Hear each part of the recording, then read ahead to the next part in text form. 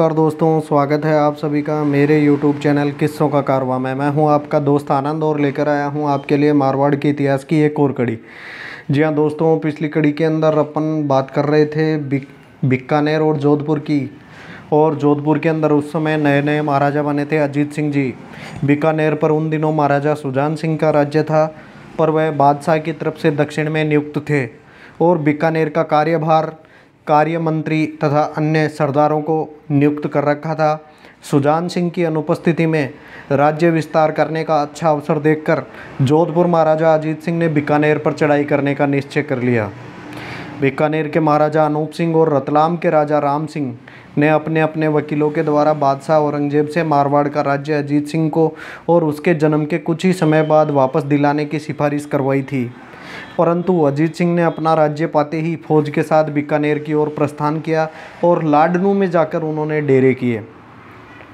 बीकानेर राज्य की सीमा के तेज सिंह गोद बिदावत महाराजा सुजान सिंह से विरोध रखते थे। अजीत सिंह ने उन्हें लाडनू बुलाकर उनसे बातचीत की, जिसमें उनमें से अधिकांश उनके सहायक हो गए।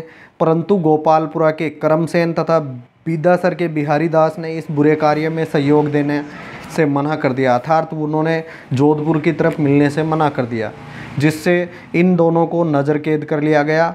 अर्थात नज़र कैद के अंदर आए करमसेन जो कि गोपालपुरा के थे और बीदासर के बिहारी दास, इन दोनों को नज़र कैद करके महाराजा अजीत सिंह ने भंडारी रघुनाथ को एक बड़ी सेना देकर बीकानेर पर भेज दिया। करमसेन और बिहारी दास ने नज़र कैद होने पर भी इस चढ़ाई का समाचार गुप्त रूप से बीकानेर भिजवा दिया।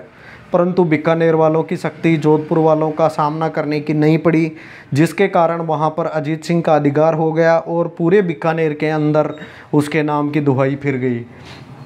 बीकानेर में राम जी नाम का एक वीर साहसी और राजभक्त लुहार रहता था। उसके हृदय को यह घटना इतनी असह्य हुई कि वह अकेला ही जोधपुर के सैनिकों से भिड़ गया और पाँच को मारकर मारा गया।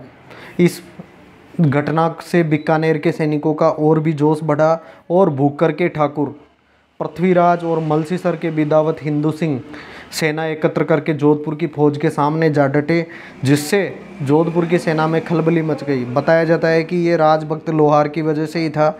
विजय की आशा के लोप होते ही सारे सरदारों ने संधि कर लौट जाने में भलाई समझी। जब अजीत सिंह के पास ये समाचार पहुँचा तो उन्होंने भी इसी निर्णय को ठीक समझा। परिणामतः जोधपुर की सेना जैसे आई थी, वैसे ही वापस लौट गई और लौटते समय अजीत सिंह ने करमसेन और बिहारी दास को भी मुक्त कर दिया।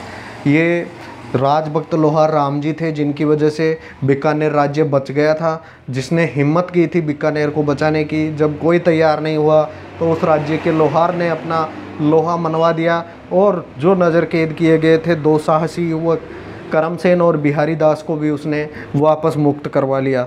अर्थात साहस की हमेशा पूजा होती है दोस्तों। इतिहास के ऐसे किस्से अगर आपको पसंद आते हैं तो मेरे चैनल को ज़्यादा से ज़्यादा लाइक, शेयर, सब्सक्राइब कीजिए। धन्यवाद दोस्तों।